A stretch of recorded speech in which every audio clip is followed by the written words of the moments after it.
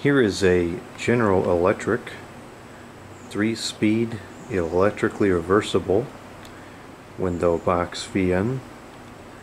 I forget what the model number is. I'm sure I've been told in the other videos, but I just don't remember. I will look it up and I will type it in the video box for it to be ignored. This is one of the prized pieces in my collection. This was my grandfather's and I just kind of stole it from him a couple years ago and now I use it over here. I don't know how it originally came into the family. I know the conversation came up once but there was no definitive answer as to who bought it. My grandfather had the original manual which I now have so I'm fairly certain he bought it because that's he always kept that kind of stuff. So I I think he bought it, but I I don't think anybody remembers anymore. I mean, this thing is probably about 50 years old now. This was in fairly regular use up until the 3733s were purchased in 99 and even after that point it was still used from time to time I remember seeing this over there quite often when I was younger. I even remember cleaning it with my grandfather on a number of occasions. So this thing has a tremendous amount of hours on it and it does still run pretty much like new. I have oiled it before with a fairly unconventional lubrication process but it did work because there was a point in time where it started to to become a little stiff um, so I oiled it up and it's been running fine ever since. Years ago, this is probably going back 20 years, at my grandparents' house, I used to put these little labels on all the fans over there that I liked. There was a couple of fans over there that I didn't like. Uh, my grandmother had a tower fan, which I just hated at the time. I mean, I still don't particularly like them to this day, but I, I don't know why I, I just despised that thing at the time, and so I, I took ownership of all the other fans with those tags, and uh, I, I put a, I put a similar tag on the tower fan, but except it said had my grandmother's name. I also put uh, these labels the Reversa-Bow Windu box fan. I've learned to spell a few more words since then. This fan should also have one or both of those labels unless it fell off. Oh no, this one will not because this is not, that's not the original one. The original one is downstairs. This is uh, a second one, and there's a backstory to that which we'll get into in a different video. So it's a three-speed model, reversible. Handle's still in good shape. This goes up here so that the window doesn't vibrate, or not the window, the screen. This was attic stored over the last 30 plus years and by some miracle it's still in very good condition including all the plastic components got the typical uh, GE shaded pole motor. These motors were okay but there were failure modes for sure and I think these are not thermally protected. Maybe they're impedance protected I don't know. My grandfather did replace the he did replace you know I should really open the screen so that we can see it a little bit clearer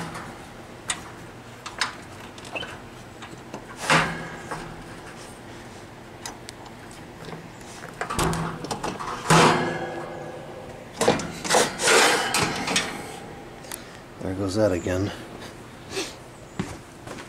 there we go that's much better my grandfather did replace the cord at one point because it had frayed.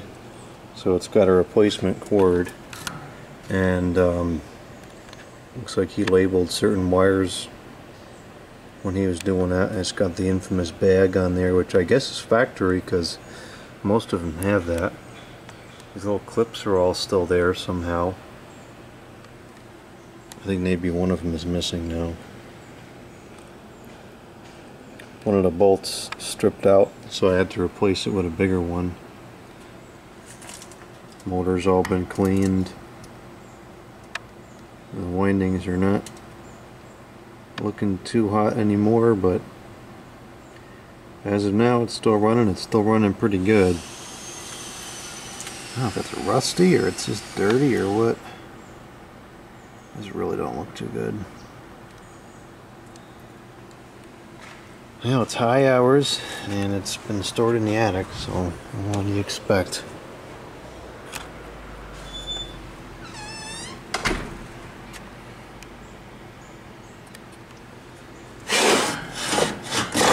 So, let's go ahead and turn this on. I just took this out last night to use it again for a little while.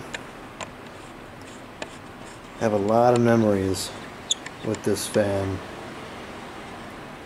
Both at my grandparents' house. At the original house I had it off and on for a short period of time. I don't remember what the circumstances were.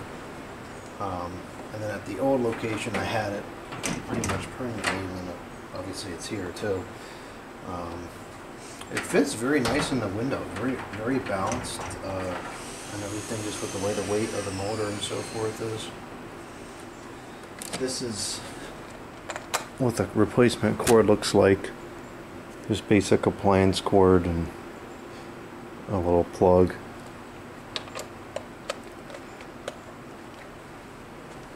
looks like the original strain relief is still there. I don't know how he managed to get that back on. Those are not easy to work with at all. Other than the color, the cord is pretty much the same as what it would have come with. One of those really thin, thin gauge uh, cords from the era. It's a very nice looking fan. I always like the aesthetics of these blades. And of course the GE logo, what used to be the trademark of pure quality and brilliant design. Now just completely sabotaged. It's terrible. What a shame. What a sad story with what GE has turned into. These fans were so well designed, and so overbuilt. On the reversible models only, you'll see this ring on the guard and this ring serves a purpose the purpose of that ring is for if the fan is running in reverse and it tipped over being that the blades are plastic they have some flex to them running in reverse if it hit the front guard it would just the blade would just deflect off of this ring. If the ring wasn't there the blade could get caught in the slats and get ruined. Somebody at GE actually thought of that and enough people thought that was important enough to preserve the product to put that on there. You will never see anything like that in the products made today, ever. Here's the low speed.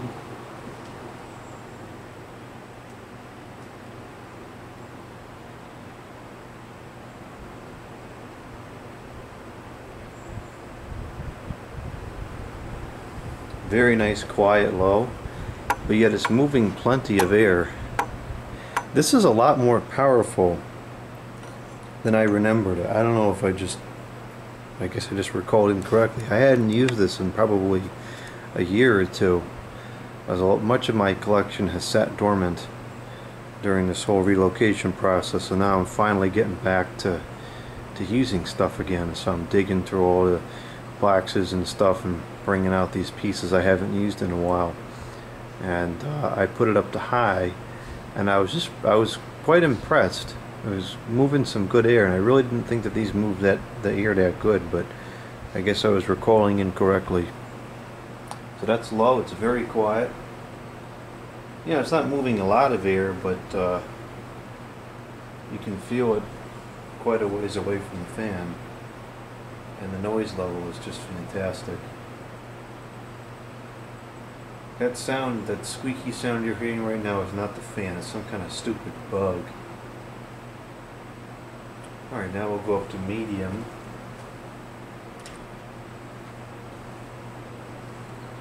Curiously and ironically, the medium on these motors also seems to fizz out. And I had completely forgotten about this over all the time that we've been working on that that uh, new old stock 3733 I totally forgot about the fact that it happens on these fans as well. And it's been like this for a while. In fact I remember my grandfather used to tell me that in order to get it to work right on medium he would have to start it on high and then drop it back down after a minute or two because the medium just didn't didn't work quite right. Uh, I don't know if you can tell on the camera but uh, it, the medium is really not that much faster than low. Now sometimes, and this is the difference between the Marco motors and these motors, sometimes if you let this run for a while and the motor warms up, it kind of comes back and works properly on medium once again. I'll put it to high and then I'll bump it back down to medium. See, it kind of holds the speed a little bit. It should be somewhere around there, but it keeps falling back. That's it right there. And then it goes down. I suspect if we let it run on medium for a while, it'll uh, it'll come back. I don't know why these motors are doing that. And again, this is shaded pole like the Marcos, so there's no capacitor to wear out there's really nothing to wear on it. Just it doesn't make any sense. So we're going to go to high, and you're going to see that there's a huge difference between medium and low, and medium and high.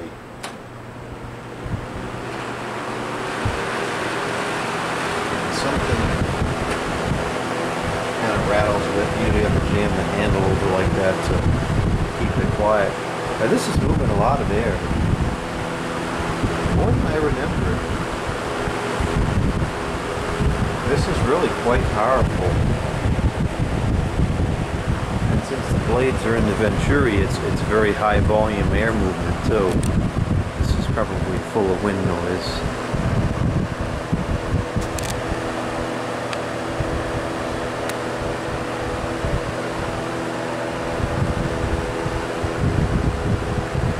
Still very quiet even on high, and it's a very pleasant, deep sound.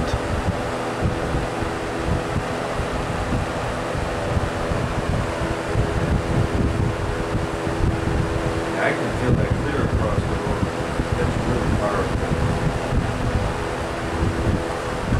And the balance is not bad. It's certainly not perfect, but uh, it's not bad kind of miraculous considering this was stored in the attic for so many years, both during the winter and the summer.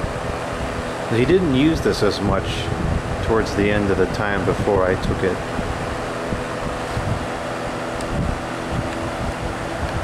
Even the hub is, is pretty centered still. It's, it's actually running really, really nicely. I find a lot of these have, have pretty bad uh, balance problems but this one's not bad. It is shaking a little bit, but it's pretty reasonable. And you have to remember this is early 70s. The plastic molding technology, even the balancing technology, was not there like it is today. I think it's a lot more excusable for a mold from 1972 or whatever the exact year is to be slightly out of balance compared to a mold made today. Should have been able to completely perfect plastic molding by now. And balancing.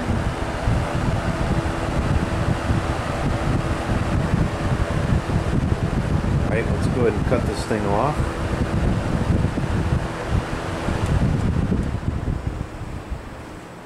It starts on low, which is nice too.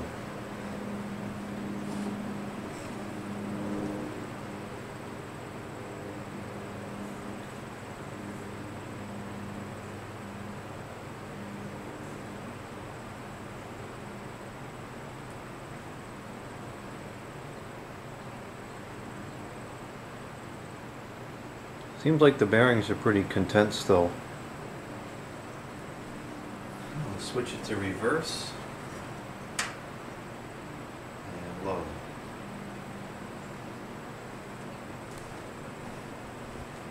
And after we've shown it on reverse, we'll go outside and try to capture the startup sounds.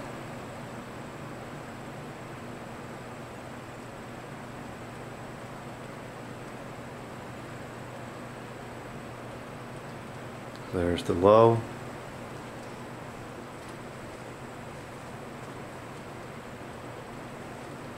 It's making a little clicking sound that I always remember it making on low.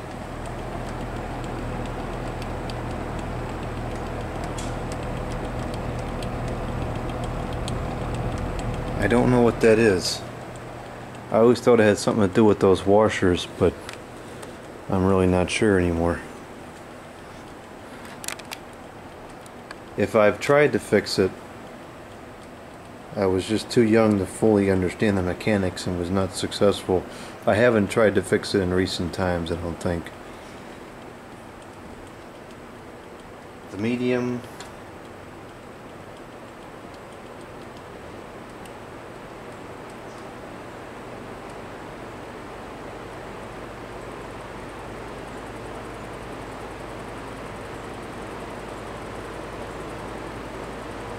Now, curiously, the medium's reverse is a little bit stronger. And I remember it was always like that too. I remember it always would run faster in reverse medium than in uh, medium forward. Because this is probably not too far from where where the medium should actually be. It's just a tremendous amount of air going into this fan. I'll open the screen again so we get a feel an accurate amount of air going out. I this screen. Actually gotta oil the whole window.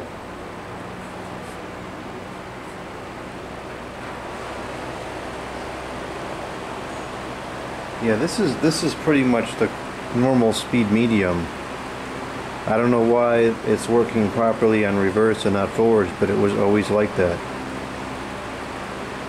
So then, of course, that would open the question: is it something with?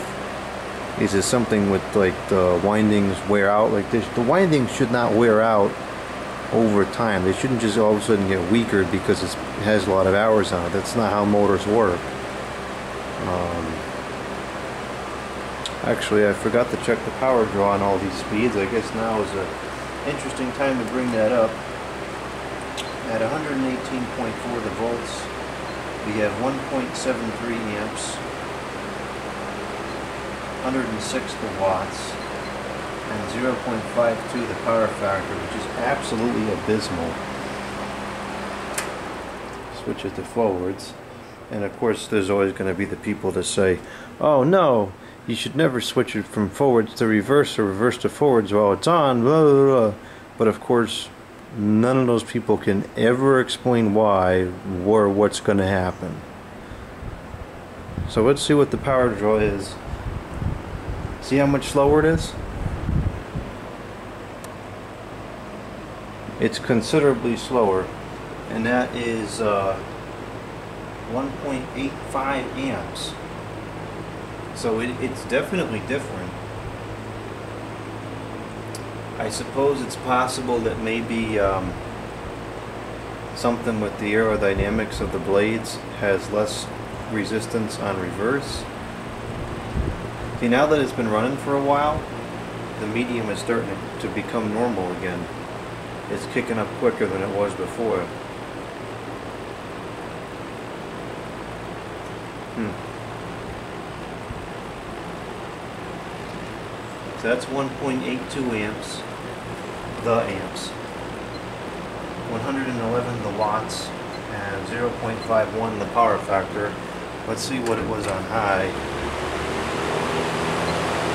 And on high, that is 2.67 the amps, 168 the watts, and the power factor 0.53 the power factor. So These things are very power hungry. And low, it is uh, 1.46 amp, the amps, 86 the watts, and 0.49 the power factor. So these motors just have a terrible power factor. A good shaded pole motor can be up in the mid to high 70s for the power factor. So let's see now, um, I forgot what the amps was on high already. Let's see what the amps is uh, when we go to reverse high.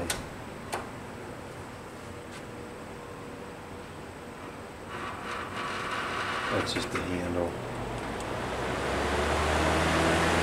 On reverse the high, it's 2.64. That's about the same. So, I don't know. I don't get it. The amount of air this is pulling in is just unbelievable. Moving a tremendous amount of air.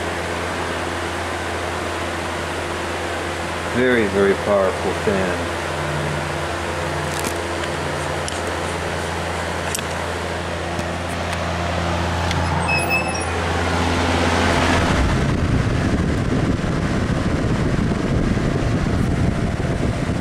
Feels like it might be a little more powerful in reverse.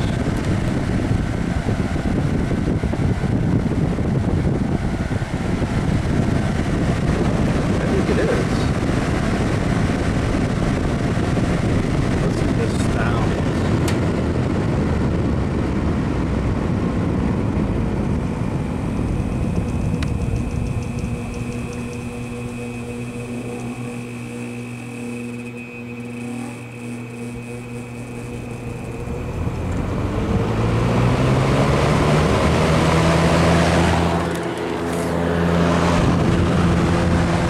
Um, no, I guess it's about the same. For a non-flat blade, it, this reverse is pretty good.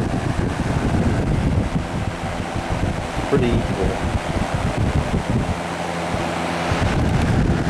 Now we'll try to get the startup sounds. I guess we'll have to do it from the outside here.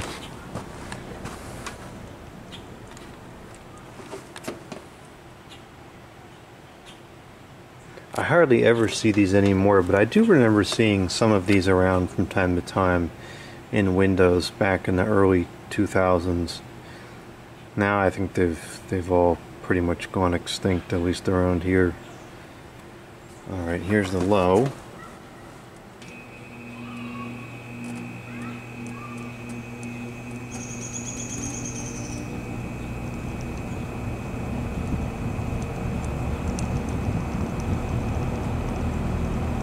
I remember that vividly.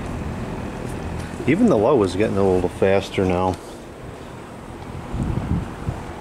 Yeah, the low is definitely running a little faster than it was before.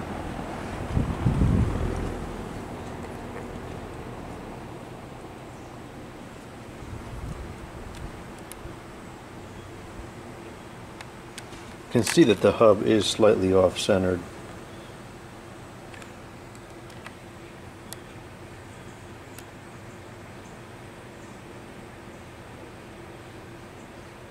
But it's not too bad.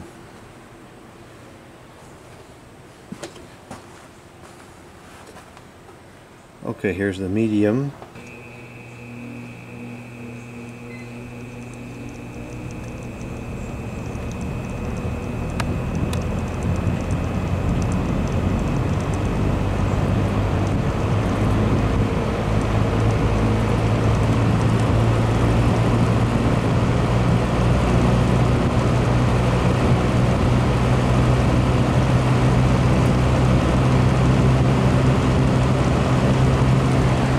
Yeah, it needs some balancing. Just gotta do that. Now the medium is 100% normal.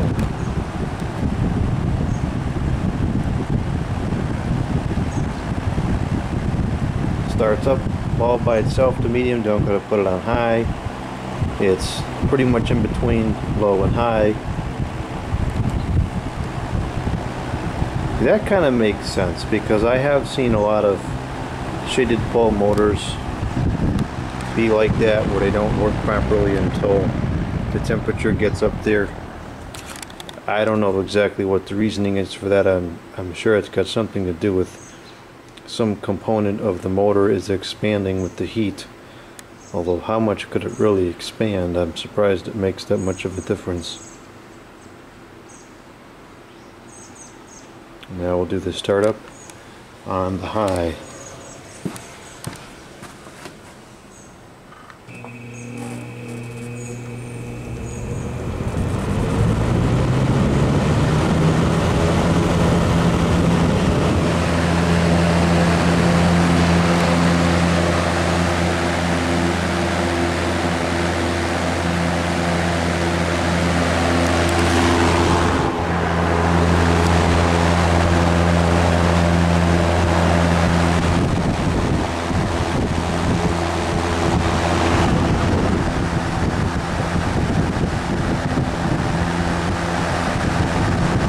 That's really quite powerful.